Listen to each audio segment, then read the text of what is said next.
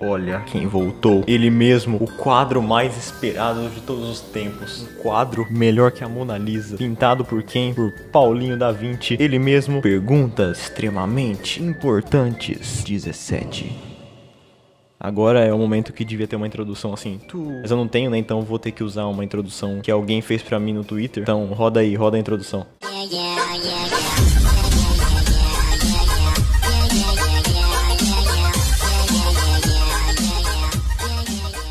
Muito obrigado. Vamos para as perguntas. Vai mostrar a bunda quando chegar a um milhão de inscritos. Mano, eu acho que é uma boa troca, né, velho? Chegar a um milhão de inscritos. Talvez quando eu receber a placa, porque eu não recebi até hoje a minha de 100 mil, pra você ter uma ideia. Aí depois, tipo, que eu receber a placa de um milhão, talvez eu mostre a bunda, né, aqui no canal. Que aí meu canal já é excluído mesmo. Tipo, mas eu já tô com a placa, né? Então, pra quem mais que eu vou criar um canal, velho? Eu só queria pra ter placa mesmo, tá ligado? Qualquer coisa eu migro, né, pra outro tipo de site aí, adulto, que tenha como eu mostrar minha bunda sem ter represálias, sabe? A gente ainda tem tempo pra decidir, tá? Então calma. Se o amor é cego, porque existe amor à primeira vista. Velho, sinceramente eu não sei. Eu só achei engraçado assim essa pergunta porque você vem no meu canal, PMM, perguntar sobre amor, né, velho? Então, tipo, sei lá, velho, não faz sentido. Você consegue responder as próximas perguntas em ASMR. Então, deixa eu chegar perto do microfone.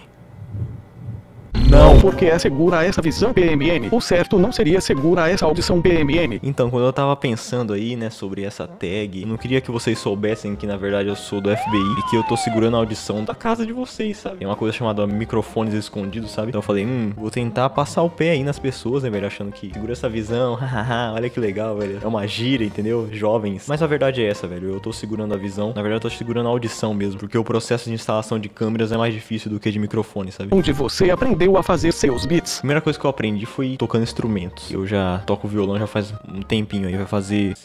Vai fazer. No fim desse ano faz oito anos, né? Então acabou de fazer sete anos. Depois, velho, eu só me comecei a me interessar por produção musical, mano. E comecei a fuçar. Mas fica ligado que depois de muitos pedidos, eu tô trabalhando em um curso. E logo eu vou lançar um curso para iniciantes, meu amigo. O único problema só é que, tipo, nos últimos meses aí, um, dois meses, teve toda essa treta aí de negócio de curso de daquele senhorzinho meio anão, sabe? Eu não vou citar nomes. Então, sei lá, mano, é meio. Tô nem aí, mano. Eu vou fazer um curso top e vocês vão ver só. PMM foi sequestrado. Pois é, você que tá aí com a imagem do Selbit, Selbit, não sei, fique com esse enigma aí. Será que eu fui sequestrado? Me ajudem, por favor. Quando sai o curso Top de FL Studio. Calma, meus amigos. Na moral que eu estou esperando eu sarar dessa minha voz, né, mano? Dessa sinusite que eu tô. Eu vou gravar tudo do curso porque já tá tudo estruturado. Tá dando trabalho pra caramba. Mas vai valer a pena, hein? Aguardem. Por que o Faustão é tão lindo? Beleza, velho. Eu sei, essa pergunta é muito difícil. Por que, que o Faustão é lindo, velho? Então vamos lá que a gente vai fazer uma análise agora. Por que o Faustão é lindo? Eu escolhi uma imagem aqui muito bonita, né? Quer dizer, a imagem não é tão bonita. A única coisa bonita aqui é o Faustão. Então vamos ver por que, que o Faustão é bonito. Vamos começar por cima. O cabelo. Você percebe aqui que o corte dele aqui é bem normal, não tem nada demais, né? Mas você consegue reparar que ele tem um topetinho que ele quase divide o cabelo no meio. Então ele tem uma porção do cabelo que vai pra esse lado e uma porção que vem pra esse. Só que aqui ele tem mais uma lambidinha pra trás, sabe? Ele cria essa, essa quebra, sabe? De simetria. E normalmente quanto mais simétrico a pessoa é, mais ela é atrativa. Pelo menos é o que dizem, né? Só que o Faustão, ele quebra essa expectativa. Você fala assim, não, mas como que o cabelo dele não é simétrico e ele é lindo desse jeito? É exatamente, velho. É igual quando você vai ver um filme de terror, você não espera que vai acontecer alguma coisa e do nada pula na sua cara. Então, é o cabelo do Faustão. Ok, vamos pra testa. É uma testa lindíssima que parece até que ele fez botox, mas a gente sabe, né, que é natural dele, né? A sobrancelha. Sinceramente, olha, olha quanta expressão que tem nessa sobrancelha, cara. E é exatamente da mesma cor que o começo do topetinho dele. Meio ralo, sabe? Igual o topetinho. São coisas que se completam. O olho dele, velho, não preciso nem dizer, né? Ele tem aqui algumas olheiras, né? Mas a gente sabe que é porque ele trabalha muito, ele é um cara muito esforçado. Isso só adiciona, né, o valor à pessoa dele. E claramente, conforme mais você gosta de uma pessoa,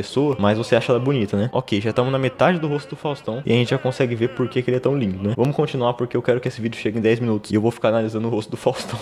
a orelha dele. Você percebe também que, é, ah, essa foto aqui ficou meio torta, né? Mas você consegue perceber também que ele tem essa simetria meio que quebra às vezes. E aqui a orelha dele vem, é meio redondinha aqui no lóbulo. E essa aqui tem mais uma, não é muito curvadinha igual essa. E o cabelinho dele aqui tá meio tampando, né? Então fica bem bonito. Ele tem uma com começo de costeleta, mas você vê que ele faz a barba perfeitamente. Quer dizer, eu nunca vi o Faustão de barba, será que ele tem barba, velho? Mas se ele tiver, ele é o cara que mais sabe fazer barba no mundo, velho. Olha que coisa mais linda, que rosto mais macio, velho. Aqui ele tem o nariz dele, não tem, não tem muito o que comentar. Pra mim é o nariz perfeito. Eu eu daria 9,5 de 10. Aqui ele tem, olha, olha que coisa mais fofa, velho. Você sabe que ele era bem gordinho antes, né? Ele já era lindo, claro. Então ele deu uma emagrecida e ele ficou com essas marquinhas aqui, com essas ruguinhas. Não são rugas, né? Mas ele dá essa marquinha na bochecha dele. E aí você fica com mais vontade ainda de lá dar um beijão na, na bochecha dele, dar uma apertada na bochecha, entendeu? Aqui o microfone tá tampando, né? Só que agora a gente vai pra mais uma parte, que é o queixo dele. Você percebe, né? Quando a pessoa tá um pouquinho acima do peso, ela começa a formar, né? Uma, uma papinha aqui. Inclusive, eu tô começando aqui, né? Porque eu tô comendo demais. E o Faustão, sabe, é uma maravilha, velho. Ele tem um queixo aqui, depois ele tem outro queixo. Só que o queixo dele não é um queixo de verdade, né, velho? É um queixo do Faustão. Dois queixos. Aqui a gente tá tampando um pouco, né? Não dá pra ver muito a marquinha que ele tem aqui, porque ele é maravilhoso. Então o microfone tá no meio, tampando aqui essa beleza dele. Só que, apesar do microfone tá tampando, você consegue ver a postura dele, sabe? Olha o jeito que ele segura o microfone, velho. Ele não é que nem esses frescos aí, que nem o Silvio Santos, que usa um suporte de microfone, velho. Ele é um cara másculo, entendeu? Ele fica o programa inteiro segurando o microfone. Você tá ligado que ele tá no ar desde 1989, né? Você acha que você ia conseguir ficar 30 anos segurando o microfone? Não ia, né? Mas o Faustão consegue. Claro, o relógio dele sempre muito estiloso. E o que dizer dessa blusa dele, velho? Essa camiseta, nessa camisa. Sinceramente, mano, olha essa estampa, velho. Parece algo feito aí pelo Amado Batista. Não, Amado Batista não, velho. Parece do Romero Brito, velho. Sei lá, velho, eu confundo porque eles são muito parecidos, né? Olha o Romero Brito e olha o Amado Batista. Eles são irmãos. Então, cara, o que mais que você quer, velho? Você quer o que mais de um homem? Você pode gostar ou não, você pode aceitar ou não, mas isso aqui é como o homem ideal é, velho. E eu não pude deixar de mostrar pra vocês aqui uma foto do Faustão sorrindo. Olha isso aqui, se você não se apaixonar por esse cara, eu não posso mais te ajudar, velho. Não tem mais o que fazer. PMM, instalei Free Fire pra zoar. Pois é, velho, é mó estranho, né, velho? Você vai lá, você vai dar uma zoada, você instala o Free Fire, do nada você olha pro lado, sua namorada tá te traindo, velho. Eu não sei, velho, por que, que acontece isso? E aquela música com o beat de Fortnite que você disse que sairia. Velho, é, já saiu faz bastante tempo, tá lá no canal do Fute Paródias. Eu sei que é difícil você achar as coisas hoje em dia, né, com a internet. Você digitar assim, Fortnite, futebol, você acha. Como eu faço pra não ser uma desocupada sem ter o que fazer a ponto de postar vídeos no YouTube pra comprar o leite das crianças? Sabe, tem vezes que eu fico me questionando se... Pra que que eu faço esses vídeos aqui, velho? Será que é só pra me humilhar? Isso é maconha florestinta. Como você vai gravar? Não sei, talvez seria um pouquinho mais difícil, mas eu acho que eu ia continuar gravando assim, sabe, com meu microfone.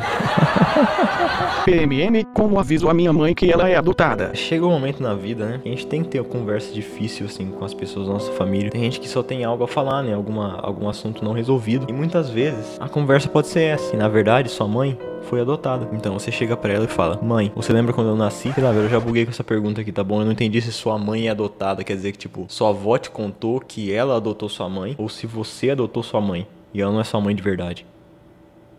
3, 3, 3 inscrições. Invertido fica 6, 6, 6. Matemática, admirável. É uma alegria gigante, velho, ver assim que de algum jeito ou de outro eu consigo instigar, sabe, o crescimento intelectual dos meus inscritos.